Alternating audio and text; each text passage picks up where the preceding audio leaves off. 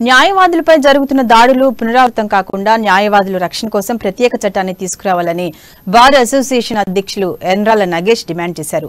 రంగారెడ్డి జిల్లాలో న్యాయవాది సురేంద్రపై జరిగిన దాడిని ఖండిస్తూ విధులు బహిష్కరించి నిరసన వ్యక్తం చేశారు.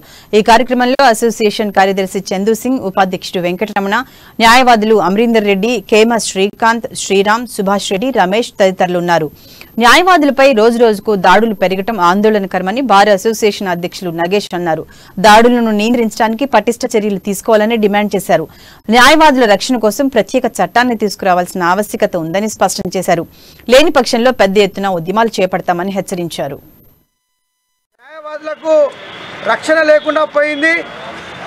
నిన్న సురేందర్ అనే న్యాయవాది రంగారెడ్డి జిల్లా న్యాయవాది ప్రాక్టీసింగ్ అడ్వకేటు మరి నల్గొండ నుంచి తన యొక్క విధులు నిర్వహించి రిటర్న్ రిటర్న్ వచ్చే- సమయం లోపల మరి అపోజిట్ క్లయింట్స్ ప్రతివాదులు ఆయన మీద అన్ఎక్స్పెక్టెడ్గా దాడి చేసి ఆయన యొక్క ఆయనను గాయపరచడం జరిగింది.